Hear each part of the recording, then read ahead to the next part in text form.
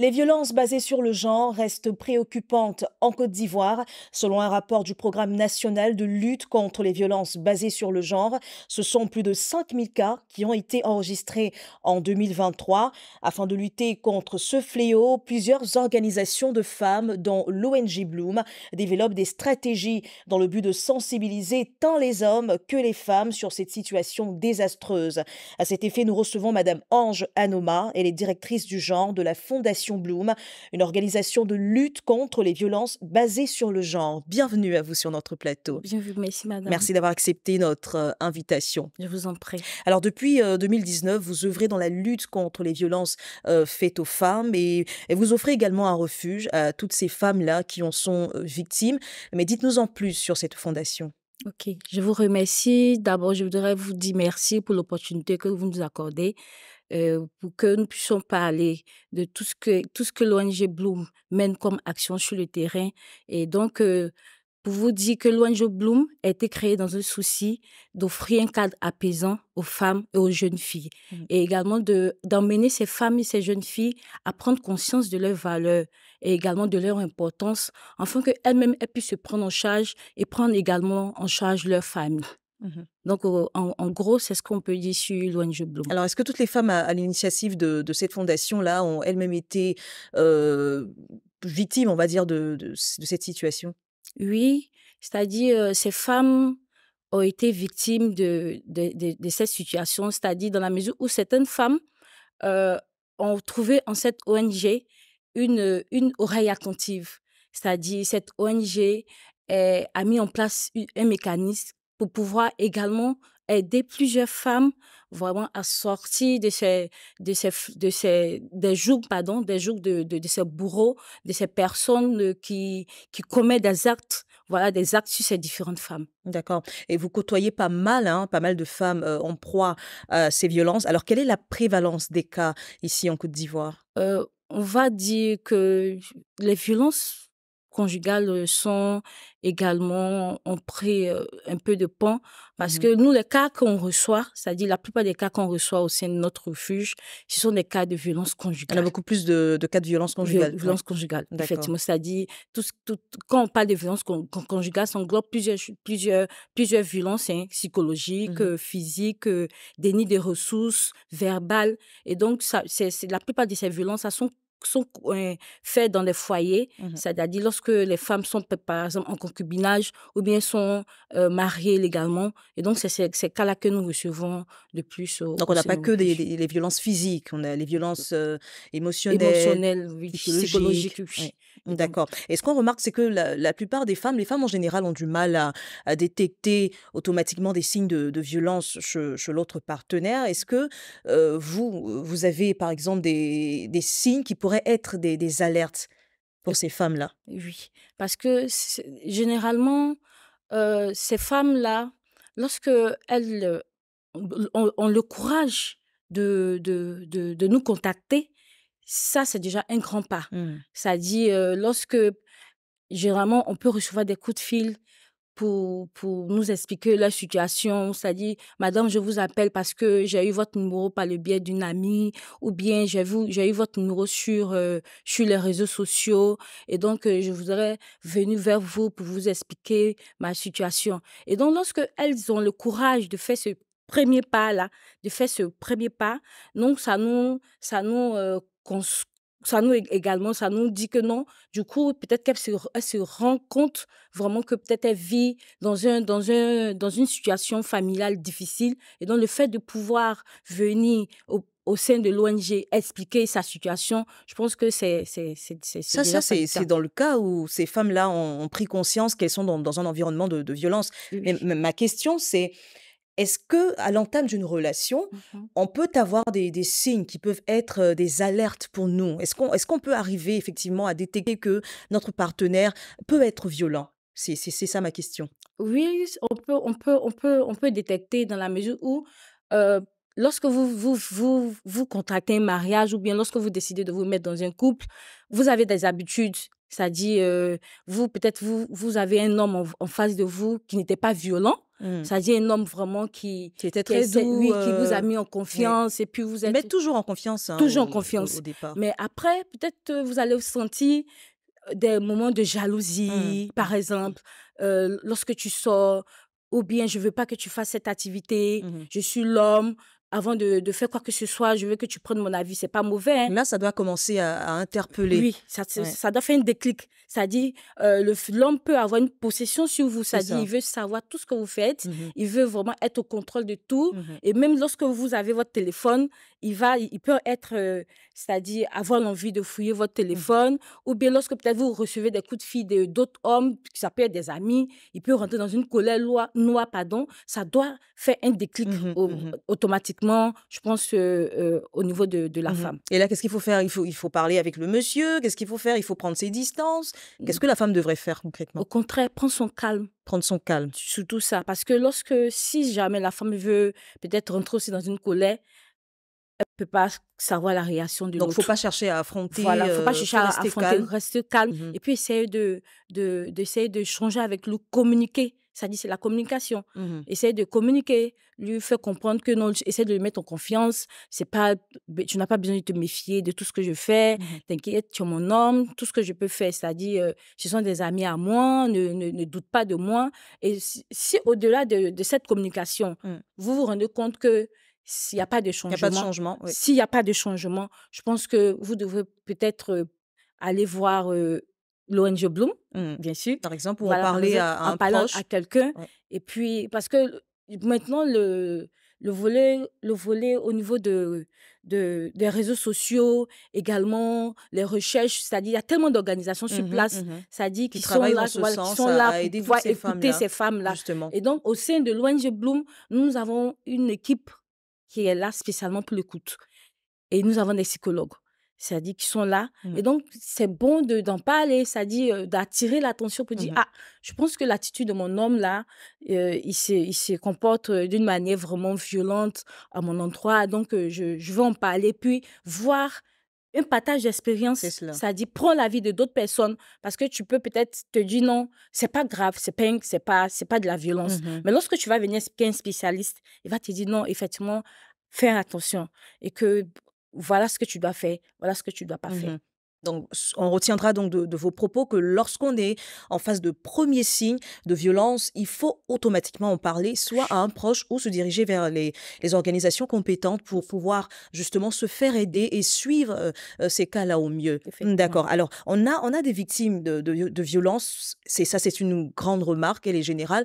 Elles ont beaucoup de mal à quitter leur foyer.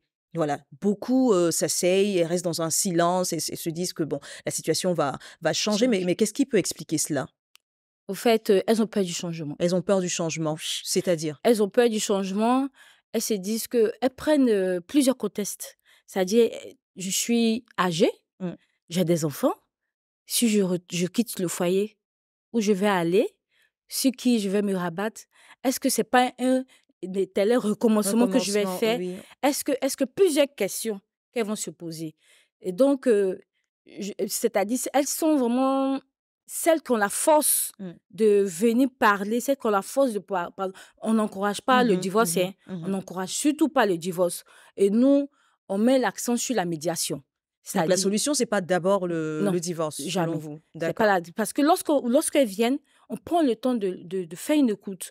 Moi, des fois, certaines personnes m'appellent au téléphone, veulent automatiquement que je puisse trouver une solution. Mmh. Je leur demande non, venez vers nous au, refuge. Mmh on va vous écouter parce que il y a certaines questions qu'on aura à vous poser. Il faut savoir comprendre, comprendre analyser le cadre. Le cadre et tout et tout. Et en fonction de ça, on peut vous orienter. Parce qu'on ne peut pas le faire au téléphone, on peut vous orienter. Et lorsque elles viennent, elles ont le temps d'expliquer la situation, mmh elles ont le temps de, de, de, s'ouvrir. Et d'abord, la base, c'est de mettre un climat de confiance. Parce que celui qui est en face de toi, il faut vraiment instaurer la confiance pour que cette personne a pu s'ouvrir. Et lorsqu'on arrive à, le faire, elle s'ouvre. Et en fonction de ça, on essaie de les orienter. On leur dit, par exemple, il y a des situations, c'est pas. N'aie pas peur de, de, de, recommencer. Mmh. Parce qu'il y a des cas tellement extrêmes. Mmh C'est-à-dire, il y a des cas, si jamais tu restes dans ce foyer-là. le foyer. C'est la mort. C'est la mort. Et donc, du coup, le fait que tu aies des enfants, il faut prendre conscience. Mmh. Il faut qu'il y ait un déclic à ton niveau. Et il y a des cas aussi où on fait plus de médiation, Mmh. c'est-à-dire on essaye de échanger avec l'homme. Ah, j'allais en venir. Est-ce que justement vous, vous, vous procédez à des démarches aussi euh, du côté de l'homme? Et comment est-ce que ces hommes sont, sont réceptifs le, le plus souvent? Et ils sont réceptifs. Et puis, il faut aussi souligner que euh, des fois, les hommes sont victimes de violences. Il n'y a pas que les femmes. Parce que lorsqu'on prend- parle beaucoup plus de femmes, Femmes, alors voilà. que effectivement il y a des hommes aussi qui sont. Parce que je vais en venir. Parce que lorsque vous prenez, par exemple, nous, on a eu un cas au refuge où la dame a été battue par son homme. Mm. Et c'était la première fois que le, le monsieur la battait. Et lorsqu'il l'a battue, il était tellement euh, énervé Mm. que elle est tombée dans le coma. Et lorsqu'elle est tombée dans le coma, nous, automatiquement, nous sommes allés à son chevet. Mm. Et elle nous a expliqué pour dire non que son homme ne l'avait jamais battue. Et qu'est-ce qu'elle faisait? Elle allait sur son lieu de travail. Mhm. C'est-à-dire, le monsieur, elle acculait le monsieur, lui disait des paroles méchantes. Mhm. Il était vraiment, il était plus euh, à l'aise même dans son, dans son, dans son propre cocon familial. Cela. Et donc, du coup, le monsieur était, a réagi violemment. Mm.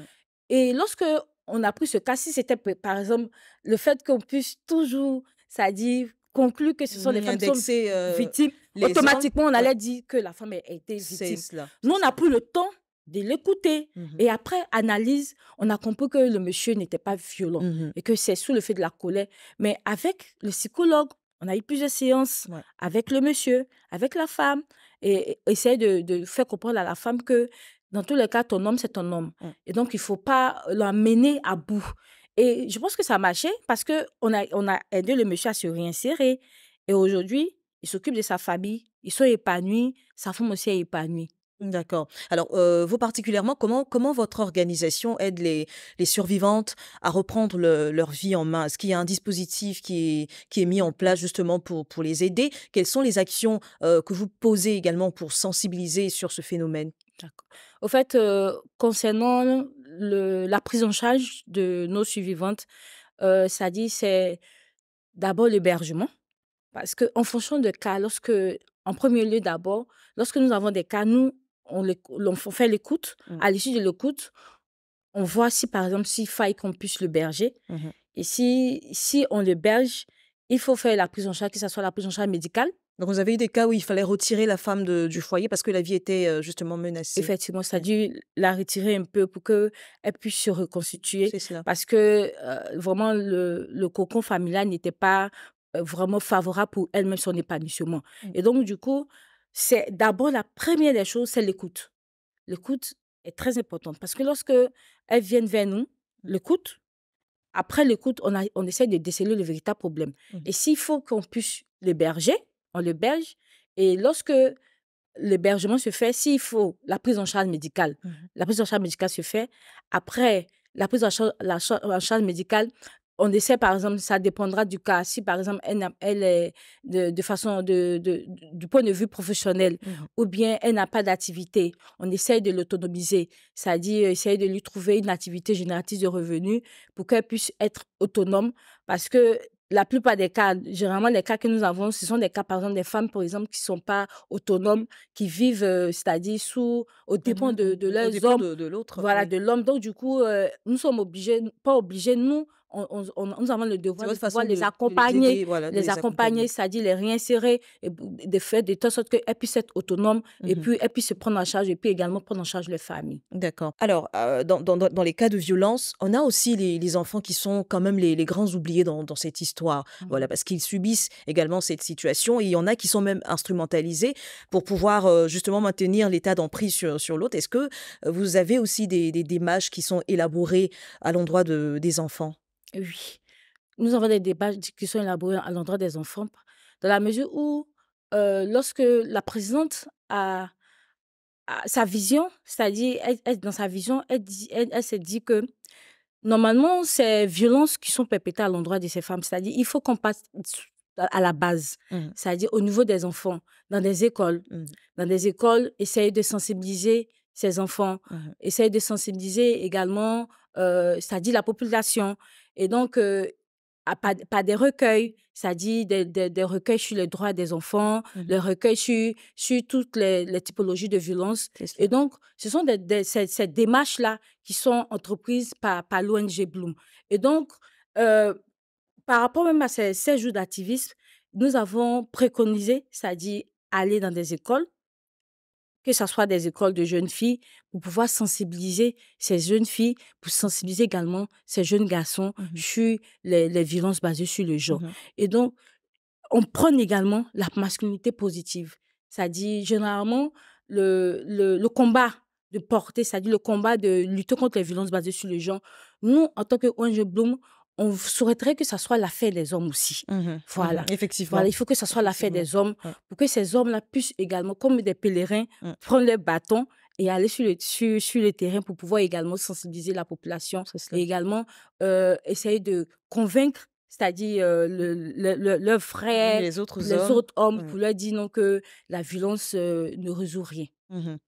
Madame Anoma, merci d'avoir répondu à, toutes ces questions et merci également pour vos actions euh, à l'endroit de, toutes ces femmes qui, sont victimes de violences euh, ici en Côte d'Ivoire. C'est la fin euh, de cet entretien. L'actualité continue sur cette info et sur cetteinfo.ci.